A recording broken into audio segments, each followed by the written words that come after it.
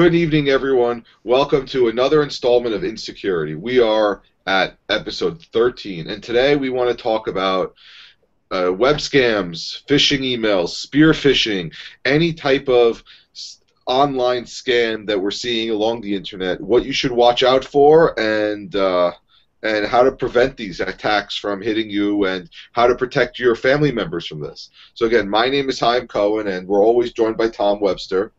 Hey, yeah. And where do we want to start first? Well, I, instead of jumping right into the topic, I wanted to discuss kind of a business proposition with you.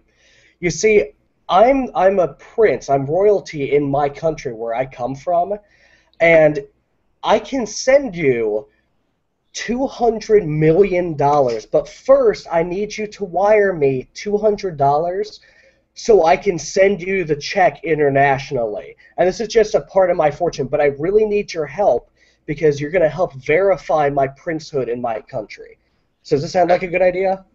Absolutely, I get two hundred million dollars. The expected value is just is just astronomical. I shouldn't even think twice about this. Exactly. So send your check right now. Oh, and do you have an address, or am I sending it to like a PO box? No, no, send it to a PO box. Also, um, it'll go a lot faster if you just give me your bank account number. You won't even have to send a check. I can just I can pull it right out of your account with uh, you know my uh, Bank of Nigeria account. Oh, I mean, this sounds Completely like legitimate. this sounds like so. Can I just give you my bank account password and you can just do it all? I don't even have to leave the computer. Yes. Yes. Absolutely. And how long will this take? Like a couple hours? Yeah, just a couple hours. Okay. This sounds great. But unfortunately, th- this was the big scam, I don't know, about three or four years ago? Yep. And it got so many people. Uh, it's commonly known as the Nigerian prince scam. People would get an email. Luckily, most spam filters catch this. Um, it's a guy that emails you and claims to be of some type of royalty. It's usually Nigeria, and he says, "Hey, you know, I can give you this, but I need something. I need you to either, you know, uh, verify my my priesthood or something, or my, my royalty by sending this money to this place, or I can give you a check, but I, I need some money to ship it internationally first, or to get out of this weird debt or this odd situation. So if you either provide me your bank account details, I'll get you the money, I promise. And a lot of people fell for this. One of the biggest ways do it is through Western Union. So you go to Western Union, and how this works is you hand them a bundle of cash. They say, okay, well, where do you want to send it? And the guy will give you a Western Union address. It's not like an email address. It's like a an internal thing that they use to send money all across the globe. Um, and it's supposed to be that you know they type it into their system, and then someone on the other side can go, oh, hey, this is my Western Union address. Can I pull my money out? And they go, oh yeah, here, sure. Yeah, it looks like you've got two hundred dollars in here. Here you go. And it's an irreversible transaction. It's not like a credit card where you can say, "Oh my God, I got scammed." Um, instead, Western Union, once you send it, that money's gone. So they got a lot of people with the Nigerian prince scam. Um, it, it actually it turns out now that Western Union um, they've got big labels, big warning labels at any of their stations saying, "Are you sending money to someone over the internet? Be aware of these common scams." And they've got you know example emails printed out. It's really awesome. Um, did you ever have? that, that was the big have one. a, did you ever have a friend in Nigeria? Like go to Nigeria for some, either charity or for work or for anything like that? No. See, I have a friend who actually did go to Nigeria, and she would. Com- I mean, she never sent me, but she would always prank her boyfriend and her parents by sending, "Hey, I need some money." That's awesome. There was a uh, a buddy of mine got one of these, and he actually it's really fun to scam the scammers if you catch on to this. Uh, so my friend would go and uh, say, "Well, yeah, I can I can ship you this check. Actually, I can't give you my bank account, but I can ship you some money. I've got it right here." But FedEx wants this. If you if you give me like a prepaid FedEx label UPS label, just email it to me. I'll get you the stuff and the, he ended up tricking this guy into giving him like an all expenses paid like a 1 800 number for UPS sort of thing, that whatever he slaps this label on will get shipped and the guy will get billed. And so he like he took this big box and he filled it with like bricks and rocks and anything heavy you can find, slapped the label on it and dropped it off at UPS. The guy ended up getting charged like a couple hundred bucks for that shipment, and uh, obviously stopped contacting him after that. Well, that's one way to get off uh, spam lists. No, but something like I don't know where I don't have a citation for this, but something like two percent of spam actually hits. Mm. It's it's a very very low number. Spam filters have gotten very very good. Um, if you use Gmail, uh, Yahoo Mail is pretty good, but if you use Gmail or even uh, Outlook.com, um, their spam filters are excellent. And really, most spam filters are you know at the very worst they're good today. Um, I hardly see any spam at all. I mean, yeah, you're right. I, I've had Gmail now for I don't know at least four years, and every once in a while, when I get a spam email, usually I get three or four at a time, and I'll say, "Uh oh, is something wrong?" And then mm-hmm. the next day, it all goes away. Yeah, because the filters catch on really quickly. What I get a lot of, and this is not spam, this is more like bacon, where it's something that I sort of want but really don't, is Haim Cohen is a very famous Hebrew name. So apparently there's a mm-hmm. lot of Professor Cohens in Israel. So I get a lot of spam from people sending it to the wrong Haim Cohen. And I can't read it because it's in Hebrew. And translate on Gmail doesn't necessarily work all the time. But yeah. how do you get off the Israeli Groupon is beyond me. And I don't know how to do it. So you know That's how, awesome. email me. What? That's awesome. So um, like you have to like translate it and everything else. But yeah, spam spam filtering has gotten really good. So, but the mm-hmm. problem there is, and are the the next set where you're getting uh, some sort of email correspondence from somebody in your address book. Mm-hmm. And so can, it can either happen through somebody legitimately spamming or uh, uh, spoofing someone else's address um, like you can make it show up from Google.com or you know from eBay.com, which happens. The eBay one happens a lot. Um, or or worst case, somebody's email got infected. Uh, someone you know is running Outlook on their home computer and they get a virus. That happens a lot. Well, I always love where I email a parent and I get an email, I don't know, a few days later or a year later, randomly, where I don't have the student anymore, and it's like, I'm stuck in London and I have nothing. Can you wire me $700? Yep. And so the immediate first thing I do is I reply to the, I'd either find the student or find an email of the parent and say, hey, uh, just FYI, you're, I think something's wrong with your email. Mm-hmm. Yeah, and it's always good to do that the uh, the stuck in London or stuck in another country uh, email, please send money. That's another very common scam. The number one way to evade this, and it's a classic story on the internet. There's a grandmother that got this, and it was you know an email that said it was from her grandson. It said, "Grandma, I'm stuck in the UK. Please send me seven hundred dollars." And she was she was at Western Union again. She was at a place where you cannot say, "Oh my God, I got scammed. Please, please give me my money back." They said, "Look, it's a one-way transaction. We can't do that." Um, but the the grandma said, "Okay, hold on. Before I send this money, let me let me just call him. He might have his phone on him. It says it's broken in the email, but hold on." So she rings up her grandson, and hey, Grandma, what's up? How's how's London? What?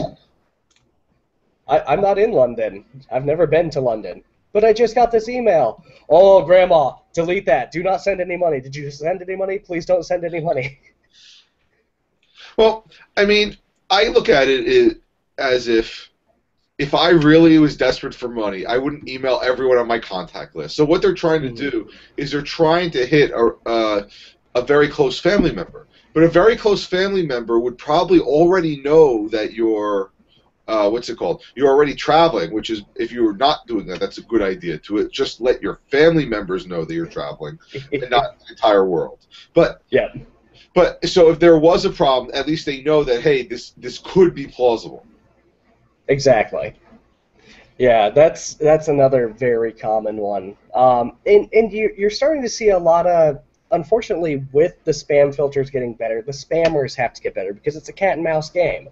So you're starting to see really legitimate emails, like the eBay scams, where somebody will take the, the eBay email in perfect grammatical English. It's absolutely perfect in every way. And they'll clone the page and they'll ship it off and they'll say, well, hey, we just need the, the tracking number to complete your sale.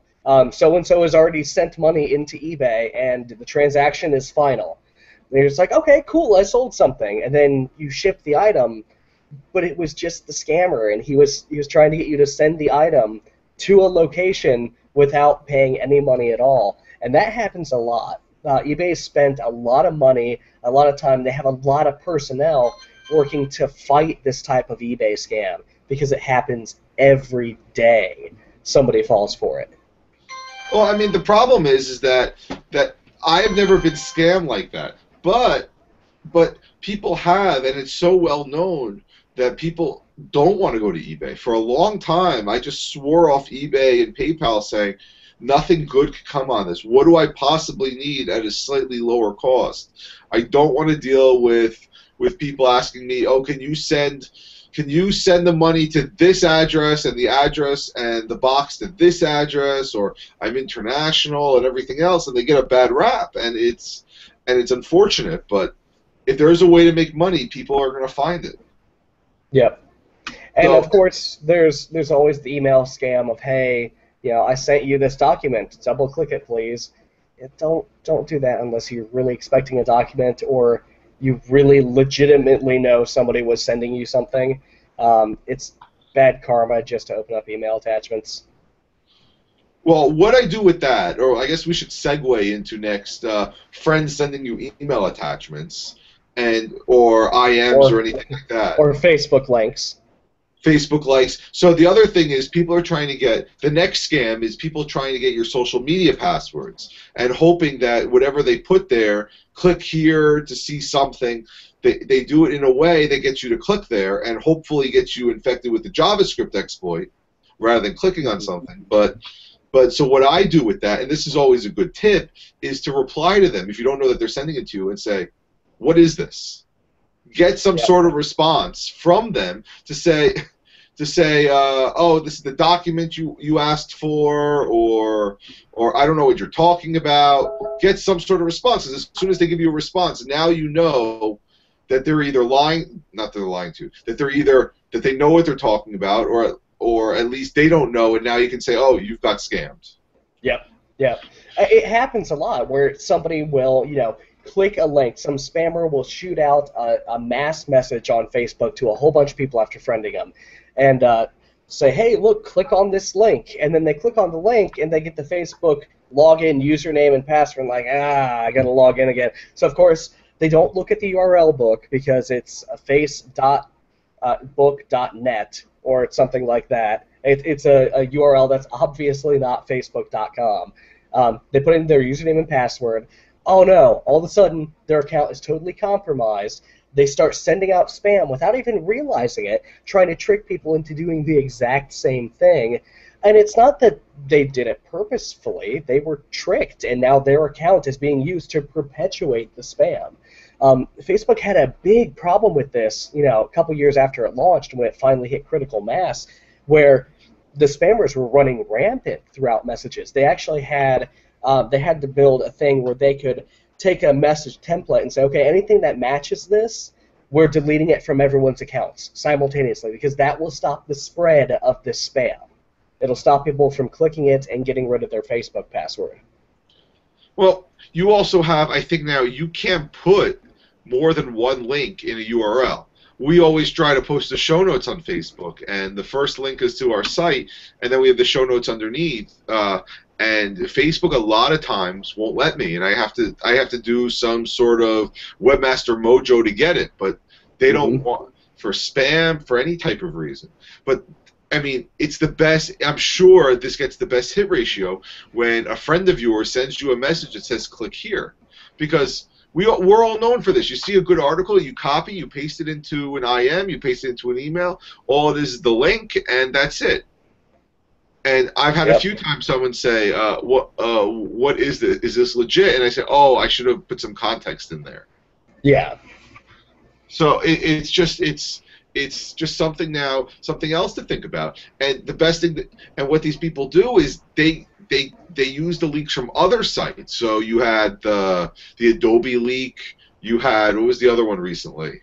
LinkedIn. LinkedIn got leaked. Snapchat just got leaked. Yeah, Snapchat. You have that, and now I'm sure your Snapchat password is the same as your Facebook password or your Twitter password, and now you have that problem to worry about, where those social media outlets are getting hacked, and they're not necessarily out to harm you. They're just trying to get people to click on links that will potentially either infect them or make the company money. Right.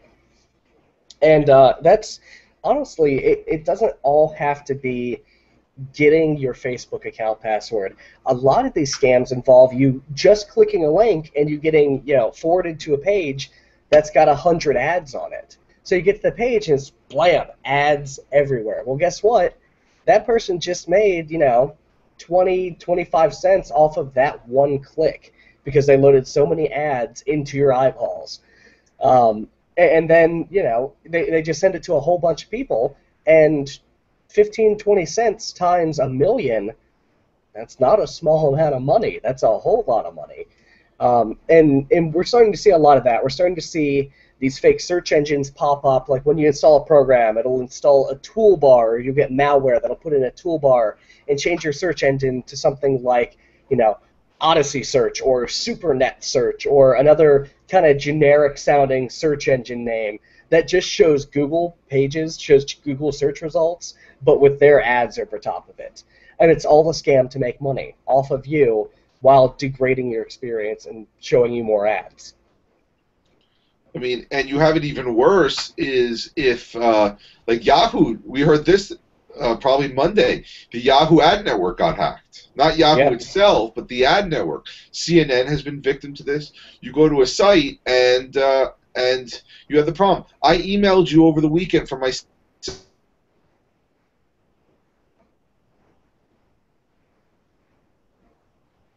Ah, I knew something was going on. Okay. Well, okay. Well, let's start the story again. My uh, my sister got sent us an email saying, "Hey, what's this? I'm getting this pop-up on her Android phone, and it's asking her to install something, and she doesn't know where it's from." So I said, "Well, let just download Lookout. We'll talk about Lookout in a few minutes. Download Lookout, let it run. Maybe you did something without knowing because." You can't. I don't think you can get a JavaScript exploit on an Android phone unless you specifically install something. And yeah, you had the great idea. Well, you had the great idea to say, "Hey, close out the browser, restart." And what it was is that she had one of her open tabs open that was uh, sending pop-ups every X minutes, hmm and that's what it was, hoping you to install this app. And from there, now you're inside, and now you can do whatever you want. Right. And and a lot of people do that. A lot of people will get, uh, especially I, I hate the the Android ads, and you see them a lot now, where it starts flashing, says you have one new message, and you click it, and it says, well, hey, just install this app, and you know, of course, it wants the ability to call people, it wants the ability to send SMS messages, it wants the ability to read your address book. They, you know, it wants access to every piece of information on your phone, and most people don't read the permissions and they click go and uh, just you know you just compromised your phone. Congratulations you just installed malware you install a spammy app um, and i i don't really want to call it malware you're you're installing a spammy app um, because most of the time unless you've got actual root level malware most of the time you don't see android malware specifically you'll see apps with overwrought permissions that can wreak some havoc. Um, but calling them malware, at least in the classic sense, I think is giving it a little too much credit. Um, these aren't most of the time these aren't actual security exploits. Um, and I know we do have to talk about um, phone scamming, uh, but we'll get to that later. Well, I was going to say, let's take a few minutes and talk about so so what do we do as far as on the browser, in our email, and on our phone? I mean, it's I mean it's very simple. We've talked about don't click on links if it's I mean, we don't want to say. I, I hate. To, I hate when people say never ever download any attachment known to man, or never Right. ever do this because that's not the case. Or never run without a virus scan. It's not the case. Your first line of defense is common sense. And, Exactly. And the common sense is, look, I haven't run virus scan in ages, just because if if I'm I'm very well aware of what I'm doing. To get infected, you have to almost install something or go to places you shouldn't go. So if somebody says click here, Not, not necessarily, though. So when Yahoo's ad network got compromised, there were a lot of legitimate websites that gave people malware.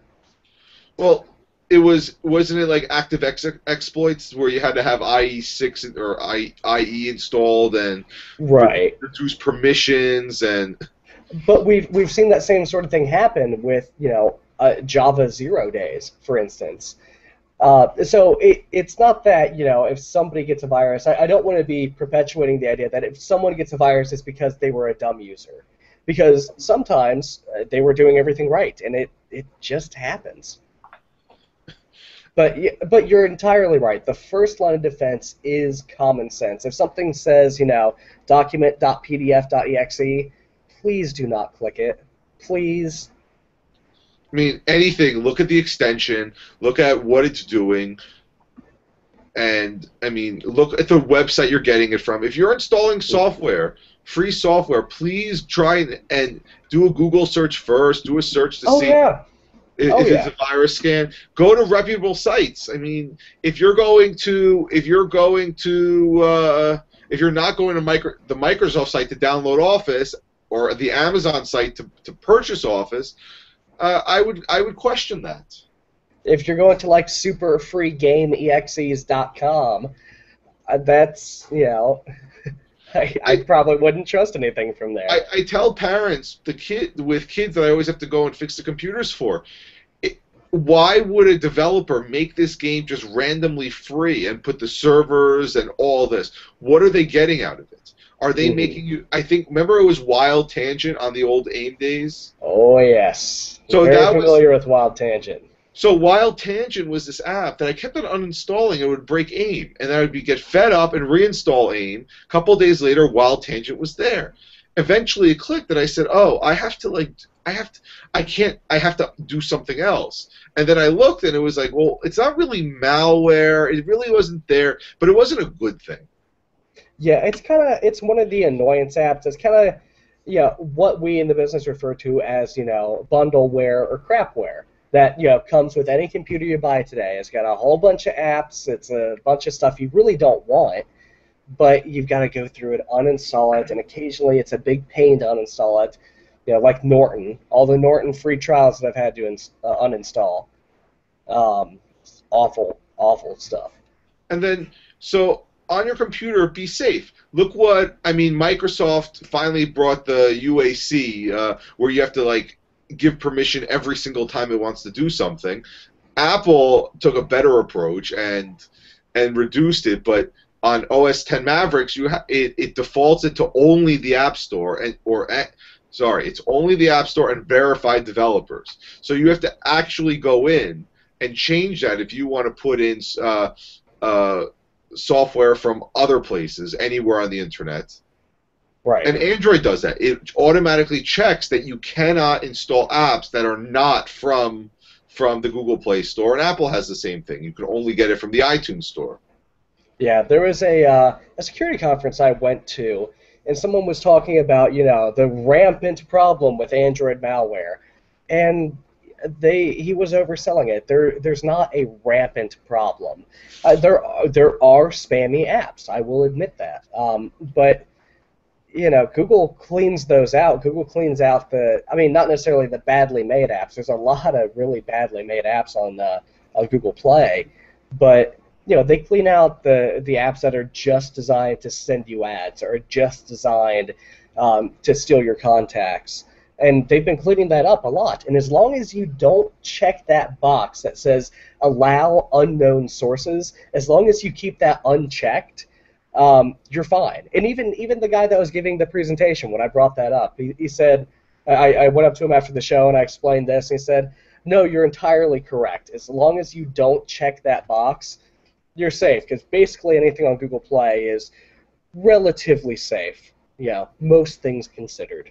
I will only say that you are 100% right, except in the Amazon App Store.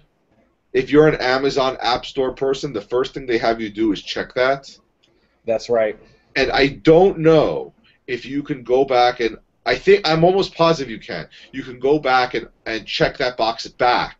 So you can install the Amazon App Store, do what you need to do, go back to settings, check that box. I think you just needed for the initial download of the Amazon App Store. But that's the only thing you have to watch out for. Right, right. So, I, I mean, some apps, like alternative app stores, they might require that. Yeah, they might require that on all the time. They might require it on just for the initial install. But you've got to be vigilant and you've got to say, okay, look, am I allowing uh, too much access to my device here? Do am I doing? Am I allowing these apps to run rampant? Um, can I lock this down? Well, uh, one thing that I I did. Oh, go ahead. Uh, well, I was going to say, uh, if you're installing from an alternate app store, there has to be a reason for it. Because Google doesn't charge to be in their app store. Amazon and Google are not the best of friends when it comes to their Android tablet market. So Google says we're not we're not blessing you with uh, the Open Handset Alliance, so you can't get the Google Play Store. So Amazon said, fine, we'll make our own. Right. But that was specific to Amazon. I don't know of any others that are that are like that. Um, there's GetJar. There's a couple different alternative marketplaces out there. Um, they're not too common, but I've seen you know games get released there first and vice versa. Um, but Google Play tends to be once you're signed up as a developer, it tends to be really easy to work with. Um, one thing I did want to talk about because it literally just happened um, a couple hours ago. Uh, a person I know sent me an email and said, "Hey, um, you know, uh, my wife just got this phone call from someone claiming to be from Microsoft. And, you know, is, is this legit? The phone number, I mean, it, it looks like a legit phone number. Um, they told her to run some stuff, and she said, hold on, hold on, I'm going to go ask someone first, and hung up on him. If you get a call from someone from Microsoft, hang up the phone immediately um, because these people are scammers. First of all, Microsoft never calls you when you call Microsoft, you know how long you spend on hold on average? Okay, Microsoft does not have the time to be calling you. But so the scam is these people call you, they tell you to go to the event viewer, which is always filled with errors because, you know, every operating system has errors that are reported. They don't pop up all the time, they just get thrown into the logs, and that's what event viewer will show you. It'll show you all the logs and all the errors from everywhere. They say, look at all these errors in the event viewer. I think your system's corrupted go to this website, install this software, and it's only going to cost you sixty dollars to fix it, or you know some amount of, of money to fix it. And it's a scam. It's a company posing as Microsoft. Microsoft has actually started taking legal and, and pursuing criminal action against these people that claim to be from Microsoft. It's completely illegal. It's utterly a scam, and you are installing spyware. I saw a computer that was, uh, you know, part of this uh, this scam, and it was it was one of the worst infected things I've ever seen. It was kind of one of those things where you look at it and you go, no, just wipe it. You you can't recover anything, just wipe it. Everything is is broken. Um, so if you get a call from Microsoft, hang up the phone. It is never ever legitimate.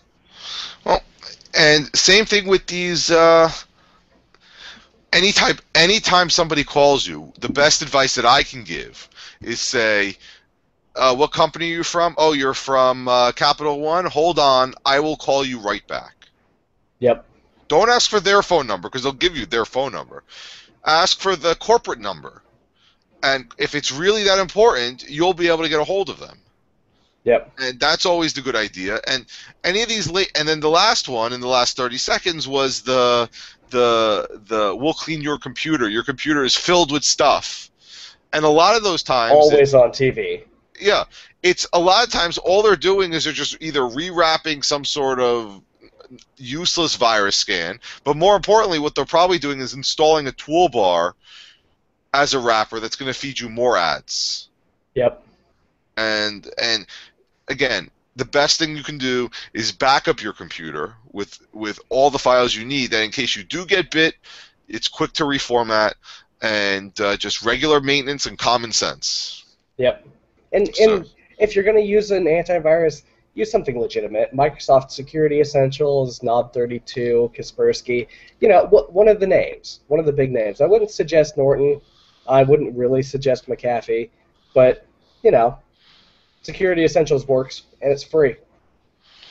And what I've noticed is most of these virus scans find it after the fact. Yeah. rather than before. And after the fact, you still want to reformat your computer because you can't be sure that it's completely gone. Exactly. Anyway, we got to go.